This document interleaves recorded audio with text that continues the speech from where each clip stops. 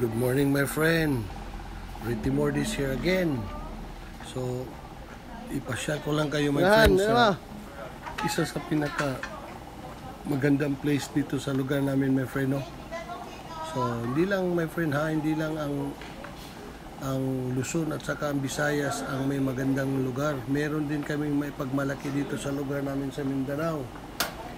Maganda to dito, my friend, kasi yung mga lugar namin dito, my friend, is nature talaga. Hindi na namin binago yung hindi namin binago, hindi namin sinira yung nature na yung mga kahoy, mga punong kahoy, yung mga ano. Nandyan pa rin yung nature, my friend. So, tingnan natin doon, my friend. Oh. Pasok tayo doon sa pinaka ah, loob, my friend, na yung sa para may veranda para makita natin yung magandang place yung nature sa labas. So uy ito yung may-ari siguro my friend. Joke lang. So yun my friend. Punta tayo dun be kung ano yun nandun. Yan my friend. Yan. Tinan mo friend oh, nasa baba swimming pool yan my friend yung may blue ganda. At saka yung palibot, my friend, yan. Ang overlooking yung city, my friend. Yung city yun, my friend. So, dito naman, my friend, ito yung tinatawag nilang hanging bridge. Tingnan natin, my friend. Ang sabi nila, my friend, 150 feet daw to. So, kalalim na masyado, no? Pag nahulog ka dito, oh, tapos ano lang to, my friend, eh. Lubid lang ang gamit nila. Katakot. Ito siguro yung may-ari. O lagi, gali. Ayan.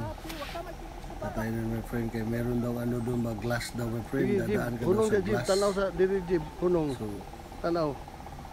siyempre nakakatawa first time ko pang makadaan sa glass na pathway. Ayan. Ayun, ayun na. Andyan si madam. So, tingnan natin yung glass pathway nila kung kaya ba natin. di ba? Diyan sila silo. Pupuntahin nyo. Siyempre, 100, ano ako no? 200 pounds ako. Ayun. May nakaupo. Ayan. Ano? Diyan ka ma, kaya ma. Diyos ko, nakakalula. Takot. Ito na naman. Meron pa dito, my friend. Marami pala to. Ayan, nakalalim. Pag actual ka, actual ka dito, my friend, talagang nakakalula eh. Lalo pa ito, nakakatakot, may glass pa, nagdadaanan ka. Kaya tumabag, nabasag to yun, dun, lapos ka dun sa ilalim, sa baba. Pulutin ka talaga dun sa Sumuking. Pulutin pa. Sandali, bilis, bilis. Teka lang, video mo na. Yung sinabi, paano sila dumaan, be? Yung mga nasa likod, tingnan natin. Be, O, dali na mo. Sige. Uh, kakatakot na, friend.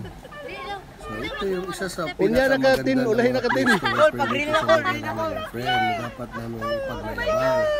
So, no need na mapunta ng malayo. Sa amin dito, meron din ganyan na mga place. So, Wala, yun namin kayo, my friend. Muuyo, pag punta alin na. Message ako, my friend, para tumingin sa baba. Hawak ka dito. ko kung ano ang pwede niyong gawin. Oh my God, di ko kaya. Mura lang dito ang entrance, my friend, nasa mga ah, 3, 3, 320 lang, tapos ma magamit mo na lahat. So, yun lang, my friend. Bye-bye for now.